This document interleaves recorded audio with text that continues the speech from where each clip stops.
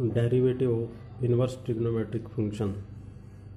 आज हम inverse trigonometric function का डेरिवेटिव निकालना सीखेंगे। तो पहला लेते हैं हम, find the derivative of F of X is equal to sine inverse X, assuming it exist. ये मानकर चलते हैं कि ये एग्जिस्ट करता है। अब हमारे पास y equal F of X लिख दो, या y equal to sine inverse X है। ठीक है? Then x is equal to sine Y ये बन जाता है by definition of inverse function ठीक है? अब आप इसको डिफ्रेंशिएट कर दें। Differentiate with respect to x. तो विद रिस्पेक्ट टू x करेंगे ये one is equal to sine Y यानी कि कोस वाई और वाई को करेंगे D Y by D X implies इसको दोबारा से आप डिराइट कर सकते हैं, यानी कि D Y by D X is equal to one by cos Y ये हो गया।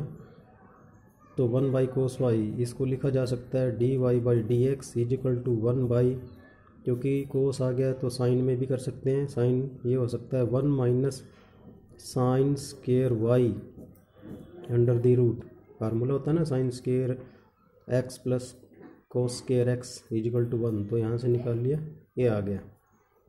ओके अब इसको आप लिख सकते हैं आगे।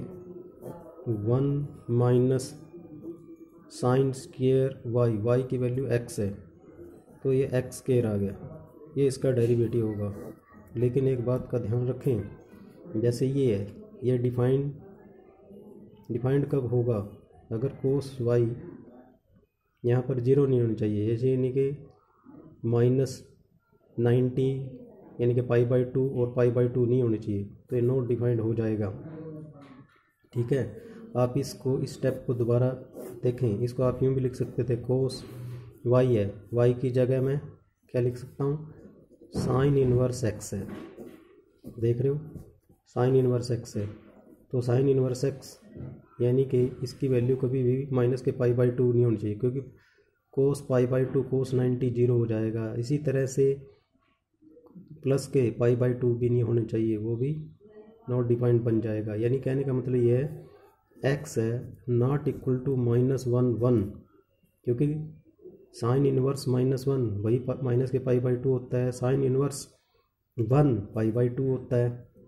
तो ये नहीं होना चाहिए, इनको छोड़ करके।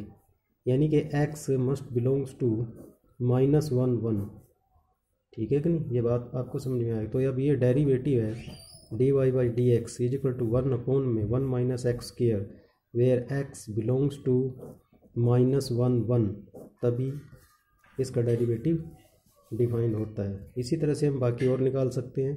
आप यहाँ नोट कर लें similarly D Y by D X cos inverse X इसका डेरिवेटिव है, आगे आपको वर्बली याद रखना है वन अपॉन में square root of one minus X square ठीक है?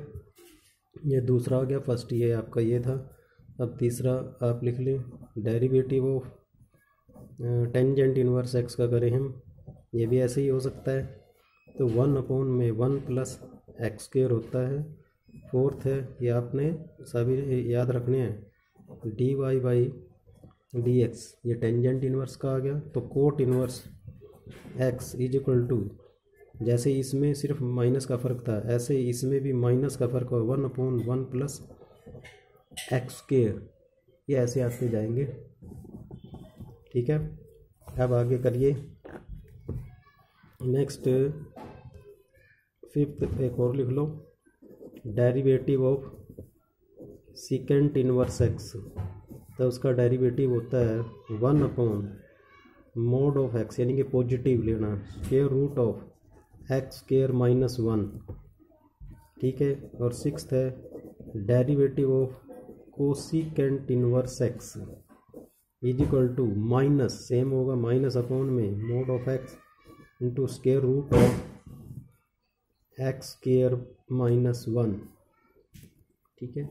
तो ये छः इनवर्स टिग्नोमेट्रिक फ़ंक्शन आ गए। तो आपने ये सारे वर्बली याद रखने हैं committed them to the memory okay चलिए हो गया।